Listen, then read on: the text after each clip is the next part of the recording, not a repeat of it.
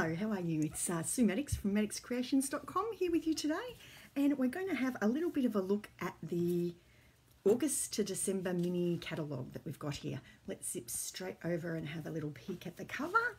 So this should have started arriving um, customers in your mailboxes. I think they, they started to get mailed out about a week ago, so hope, hopefully yours is there.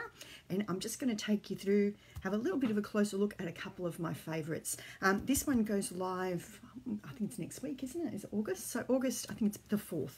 So not too long now, and we can um, grab some little bits and pieces out of that, ready for our holiday creating, Christmas creating. Okay, let's have a look at the first thing that jumped out at me, which was the Poinsettia Petals um, bundle. So I love this bundle. You've got the beautiful flowers here. Let's have a look. Hi Mel, how are you? Good to see you. I've already dyed my flowers, you can see, because I, I stamped them in red. Um, so they're, they're, they'll stamp well. The red does usually dye these um, ones a little bit, so you get a bit of staining. But lovely set of flowers there. And then you've also got the dies here that cut out. So you've got for each flower there is an outline die if you just want to stamp the flower and cut out the, ooh, let's put it on a plain background so you can see. So if you want to cut out the flower that you've stamped, and then there's also this lovely little um, embossing one as well that fits that fits in with it. You can pop those through and then you get a beautiful embossed um, image if you want to use it without the stamp. I'll show you an example um, in just a moment. Um, the other one I've been using out of this one a lot already is this lovely little little one that cuts the little, I don't know, like berry things. They, they're lovely just for adding a little little embellishment underneath your flower. Or there's some leaves in there as well. So that's a lovely set. Let me just show you it in action. Actually, before I do that, I'll show you there's also some pattern paper that comes in this product suite. So let's have a look at that. It is the Poinsettia Petals, where are we? Poinsettia Place DSP. Um, it's it's the 12 by 12 paper. Um, I've cut mine down into 6 by 6 just to make it a bit easier to, to show you and to use. So you can see you've got these lovely, lovely patterns there. Some wood grain, always handy. Little berries on that one. Another just nice plain green. The colours that coordinate with um, this bundle. Hi Tina, how are you? Uh, it's real red, old olive, garden green, bumblebee, and soft suede are the colours in this lot. So I find it handy actually to grab out a half a sheet or so of each of those and just pop it in the pack with the papers and then yeah you're all set to go it sort of just gives that nice little visual of what's there I love this one this is my favorite I think love these berries or little buds or whatever they are Another nice little plain green pattern. It's always handy when you've got a few of those as well as some of the busier patterns just to work together. Another little poinsettia there. Pine cones. I like this, this brown one too is lovely. And there we go. So let me just show you it in action on a card. So this one, this one I've stamped um, onto shimmery white, I think I did, um, and then and then cut out all the different layers. So I've got actually got four layers, I think, there in my flower. Um, and then you can see how those nice, I yeah, wanted a little touch more red to come out the side, so that was that was handy there. And I've used a couple of the different DSPs and, and some just little matting with the, the other colours. I wanted just a nice little greeting there, so I actually, I've grabbed out, this one's made a comeback, so we did have this last year in our holiday catalogue. It's Christmas Gleaming, and I find that stamp there just a really, a nice little greeting. I just wanted a sort of small size and I just snipped him out with the scissors. So that's that. Now my favourite um, thing I think of all out of this suite is these beautiful beaded pearls. Let's have a little closer look at those. I've already ordered um, three packs of these and I can see I'm going to go through a lot. They're um, just beautiful. So they come in like the little bundles of three pearls with some, yeah, just a beautiful way to add some sparkle with your glue dots. So that they look great for in the centre of the flower. Um, the other thing I've used on this one is the uh, one of the embossing folders there. So that, that's a little bundle of two embossing folders and yeah, just had a nice little plain um, way to add a little bit of texture.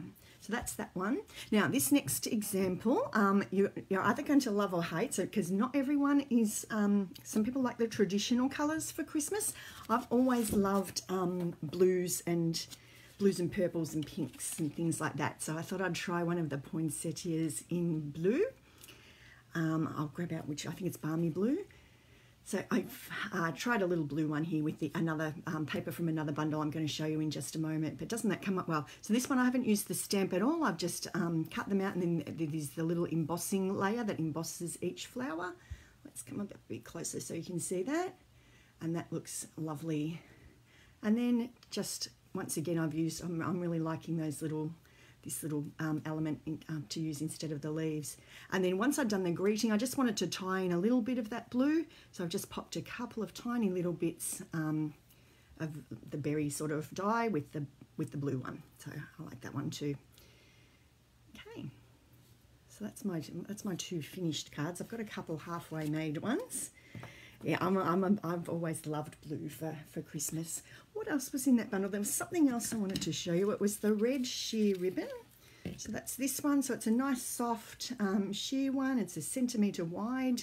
Um, yeah, and that's a lovely, that's a lovely ribbon that comes in that pack as well. And the other thing that's in that suite with the poinsettias is this beautiful plush uh, plush poinsettia specialty paper they call it. And I wish you could feel it. It's just one of those nice um, touchy feely ones. So it's got like a flocked um, pattern on it. So a really nice um, it's like a shiny yeah it's got a real shimmer to it the base. It's like a shiny sort of vellum. And then it's got this white fluffy um, velvety pattern over it. So there's I think there's three different patterns here and you get two sheets of each. It's in the 12 by 12. Feels lovely. Um, yeah, so that's that's those ones. So nice if you want to add a nice little textural element there. Okay, I think that was that out of that bundle. Let's have a look at the next one. Now this is not my normal style. I don't usually go for these um, these sort of ones, but this just caught my eye, this gnome for the holidays. So we've got our cute little gnomes here, a cute little gnome house and some little greetings. So I've been having a little bit of a play with that one. I really like the samples. I can't show you the inside pages yet, but if you've got your catalogue at home, I love the samples they had in the catalogue, really just made this one jump into my cart. So I set him up on the Stamparatus. I think I've taken him off now. Oh, no, here it is. So I've set up the little ones here on the Stamparatus so I can just pop my, um, my piece of cardstock down. And I, it did take me a couple of goes. I want, needed to ink him up and stamp him twice just to get a nice, a nice outline there. And then he's all set to colour. So now I've got to say, I, I did not do a very good job of my first um, colouring, although it actually, it, it ended up okay in the end. So here's my first go here with the stamping blends and I don't know if you can see, but on this guy's hat, I just really, it bled a lot out of the lines. I think I'd like to try it again actually with um, black embossing powder so you get that sort of raised outline and just helps you stop. I just nudged over and because it was with those really bright reds and greens, he looked, it looked a bit um, yuck. I was going to keep it just on that white piece. But instead, I just went around the outside with, um, I don't know, one of the neutral colours and then it still looked a little bit, yeah, it looked a little bit messy. So I ended up, I, I cut them out. So I'm not really sure what I'm going to do with these. I thought I might um, make use of, Another thing in the catalogue is these felt, um, festive felt combo pack. It's got um, some green, some white, some brown and some red felt. And I thought those colours look quite nice. I might come up with something like that, I think, to finish him off. Okay, so that's that. My colouring, I have not got any fabulous tips for colouring really, but I always just tend to, so for, for the um, this little Christmas tree hat here, I just coloured it with the light colour first and then just added a little bit of dark down this side and then just blended it again with the light one. So nothing magical there really, but it, yeah, it comes up really, really nice. I can't wait to turn this into a finished card. Okay, let's have a look at the next one. The next one, this one, um, I loved and it is the Snowflake um, Splendor bundle, oh, the Snowflake, what is it? Snowflake Wishes bundle and the Snowflake um, Splendor pattern paper. So I've, I've, always, yeah, I pretty much get every snowflakey one that we've had over the last few years. So this one, a whole bunch of different um, snowflakes there, some lovely greetings. I love these greetings that um, have the combination of a couple of different fonts there, are nice too. Now, actually, having said that, we probably are not going to use a lot of these ones because it's Snowflake Wishes for a Merry Christmas. Probably not so relevant here in Australia, but I do like this one down here, May Your Season Sparkle. I thought, oh, that's, that's nice. Everyone can use a bit of sparkle, can't they? Um, this is the dies that go with it. So we cut out these beautiful, we've got some outlines that cut out the stamps and then also some nice little um, ones that have a little bit of embossing and a bit of detail as well. There's another one in the back here. I like this one. This cuts a, a nice window. There's two spare snowflakes in the middle, but this one cuts a nice window with a beautiful snowflake detail in the side. So that I'm looking forward to trying this one. Haven't had a play with this yet, but it um, looks great. Now, the pattern paper that goes with this is just a stunner. If you like snowflakes, I don't care if it's hot in Australia in winter. I still love um, love these, this range. So this one is the um, Snowflake Splendor DSP and it's got a mixture of snowflakey ones and then these beautiful watercolory ones which are nice as well. I used that one um, here for this card just in the background there. So nice way to get a little touch of those colours. Let's have a little look here. So we've got this one, some more snowflakes, all different sorts of snowflake backgrounds there. Some plainer ones if you wanted a little bit more subtle or to contrast.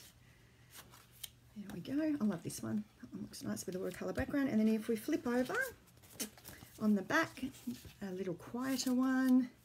Another one of these beautiful um, wash backgrounds that'd be nice just even for not Christmas um, creating, I think. That one's pretty a little bit um, softer, more subtle. This one and Lucky Last. So they were lovely. These are some of our colours um, that coordinate. Once again, this is uh, 12 by 12 sheets. These ones, I've just cut them down. Um, some of our colours that match with them. Your catalogue will show you um, all of the matching colours or you can flip over your pack if you get that paper and it'll list the colours on the back. So I find it helpful, yep, just to grab those out, keep that with the pack and then I'm all set to do some creating. Um, there's also an embossing folder that goes with that, that um, embosses these nice lovely snowflakes. So lots and lots of cool things in that one. Um, the other thing that's in there is this, what's it called? Snowflake Splendor ribbon. So this one's, it's got an iridescent, um, I don't know if you can see that. Let's have a look here. Iridescent um, sheen to it. It's got metallic thread through it. It's quite a stiff ribbon, so almost almost feels a little bit um, plasticky sort of. It's quite a stiff one. I'm not sure. Don't think it'd be one that you could tie a nice soft bow or something with, but it's a beautiful, that sheen that goes through it is just lovely. So yeah, I think a couple of nice strips across the card would look beautiful with that one. What else have we got? Let's have a little look here. Um, now, this one made me buy the um, triangle dies that I hadn't got the, the stitched triangle dies before, but I really like the samples they've got in the catalogue with this triangle set. So some beautiful, um, just really modern looking um, triangles here for Christmas trees. Um, if you'd like that nice modern funky look, if you grab your catalogue out and have a look at the samples made with that, you'll see what I mean. So yeah, that definitely, I had to get the triangle dies then. They've been stalking me a little bit. So that was a good one. Um, what else do we have? Another thing that jumped out at me was just this um, tag punch. It's called the Essential Tag Punch. Um, yeah, and that looks that looks quite a good one as well. I quite like him. So just a nice little shape there. Now, I don't usually, um, I don't make things for Halloween or for Thanksgiving, of course, but there's often some nice little products hiding on those pages as well. So one that I, I really loved the samples they made with this one, it's called Life is Beautiful. It's over in that um, area with all the, the Thanksgiving products for the, the our US um, customer or people. Um, but yeah, this one looks beautiful. That beautiful tree, lovely leaves. There's some um, nice yeah, just some really nice cards made with that one. So looking forward to a play with that.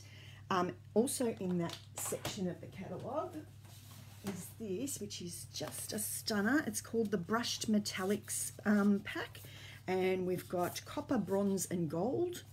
And yeah, it's just beautiful. It's got a little bit of a brushed finish to it. Um, so sort of like a streak through it, I guess you'd say. And they look really, really lovely. So it's a bit sort of hard to show those, I think, on screen, but take my word for it. That's very nice. Oh, what was the pun? Did I not notice? I might not have noticed the pun. I'll have to go back. Oh, tree angle. Yes, yes, you're right. Good, good pick up, Tina. Well done. um, the other one out of those same pages is this beautiful combo ribbon pack. It's got a basket weave ribbon, I think they call it. Let's come up a little bit closer. And then this nice metallic copper one. So really nice combo of ribbons there if you like your ribbons to match your projects and add a little finishing touch. Now in the um, Thanksgiving, no not Thanksgiving, in the Halloween section, now I have no idea what I'm going to do with this, but I just really just like the look of it. It's this beautiful, um, what is it called, metallic mesh ribbon. So it's just a silver metallic mesh. I think it'd just bunch up quite nicely. Yeah, so that, one, that jumped out at me. And there is a whole bunch, I think I've pretty much bought every um, embellishment that's in this catalogue because I just love little sparkly things, especially when you can just uh, stick them straight on. So we've got the wonderful gems in the, the red and the whatever that is. It's got They've got a little touch of, um, what do you call it, gold glitter through those, I think, as well. So they're, they're quite pretty. The all the trimmings embellishments so different shapes there. These are um, the, the, circles and then we've also got some stars that could be handy for on top of those Christmas trees or just little finishing touches.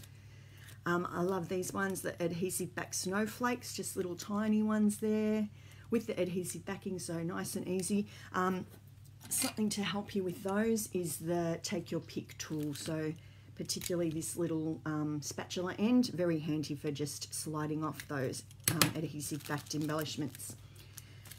This one's nice as well, the blue adhesive back gems. So I don't know if you can see how shiny and lovely they are. I really like those. Actually, I might, might add them over to some that card over there. And this one, I think this was in the Halloween section as well. They're called iridescent pearls, and they are just beautiful. They're oh, I don't know, it's sort of like peacocky colours. There's a little gleam of blue and purple and green and just really, really lovely. They're, they look nice on any, any project, I think. Okay, what else did I have here? That might be getting close to the end of my pile, I think. Oh, no, nearly forgot. Can't forget glimmer paper. Cecile, if you're watching the replay later. Oh, this doesn't really show up the colour that it is. But this is um, Balmy Blue, so it is actually a nice, really pretty soft blue. We're definitely, let's see if I can get a bit of light over here and get that blue to show. Oh, that's a bit better. Okay, that gives you a bit more of a, a closer look. So a beautiful blue um, glimmer paper there. That's, that's lovely if you're a bit of a glimmer paper fan. There's also, I think, a black glimmer paper as well um, in there. So a couple of nice ones there. Okay, I think that is about um, it for today. So that's um, some of the bits and pieces that jumped out at me. I'll have a bit more of a play. I might show you a few more things um, once I get some more bits and pieces made. Um, in the meantime, don't forget last couple of days of the, um, what is it called, the bonus days thing. If you spend $90, you get a $9 coupon to use next month.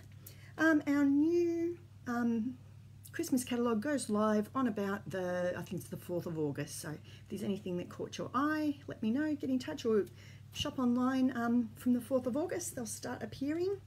Um, and in the meantime, I hope you are all keeping well and um, having a bit of craft time, a bit of time creating, popping some of those cards in the post for someone special. And uh, take care, everyone, and I will see you again next time. Okay, bye. Thank you.